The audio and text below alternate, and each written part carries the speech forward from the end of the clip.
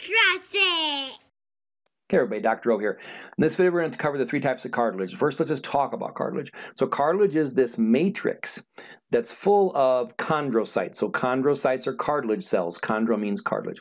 So you see these special chondrocytes, uh, these cartilage cells, they're, they're in what's called a lacunae, not a big deal. But then they have this matrix around them. So that's what makes up cartilage. And then cartilage is going to be encapsulated by what's called perichondrium, this dense, irregular connective tissue. Not a huge deal.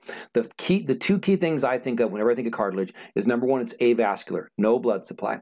That this is so the only way that cartilage cells get nutrients is through diffusion. This is why they heal so slowly because they, they don't have a blood supply like other tissues do. Like bone's going to heal much, much better than cartilage and, and much more quickly as well.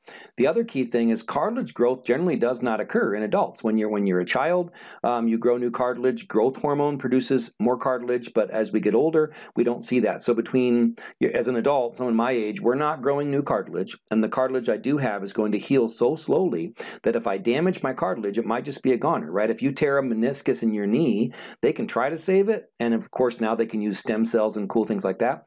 But usually they would just go in and cut it out because it's not going to heal. So cartilage heals super slowly for those two reasons. It doesn't normally grow in adults and it's avascular. Bone's completely different. When you break a bone, usually it's going to heal stronger than ever. And that's so cartilage and bone, one key difference. Bone is vascular, cartilage is avascular.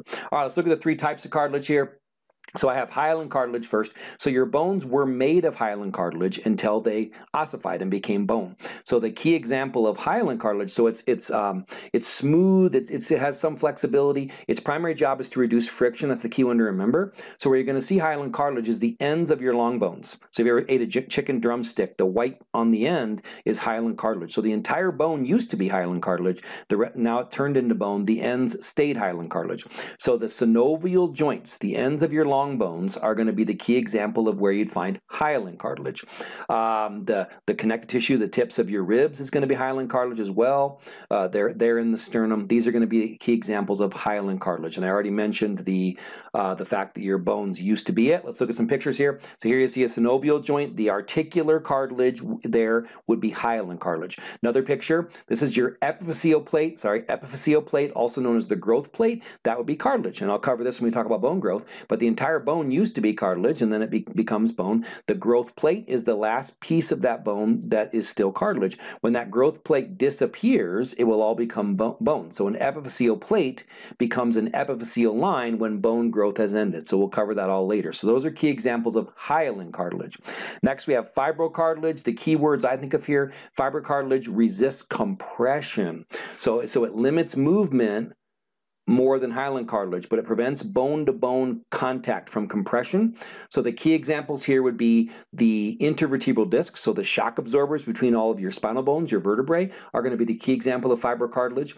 The um, uh, Actually, I can show you them. The um, So here we see an intervertebral disc, and then also on the bottom, the pubic symphysis or the symphysis pubis, that fibrocartilage pad keeps your two pubic bones from crashing together. So those are going to be the key examples of fibrocartilage, intervertebral discs and the symphysis pubis there.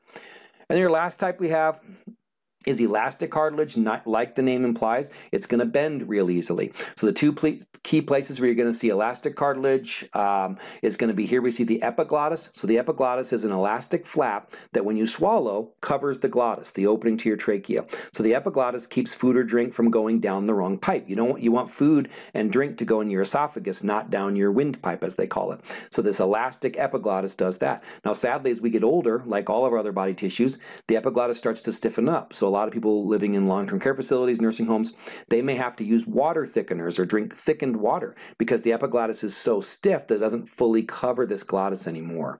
So that would be the epiglottis. And then the last example, I thought I had a picture. The last example would just be the elastic cartilage there in your ears. I can't believe I didn't have a picture of an ear there. But uh, all right, so those are going to be your three types of cartilage. I hope this helps. Have a wonderful day. Be blessed.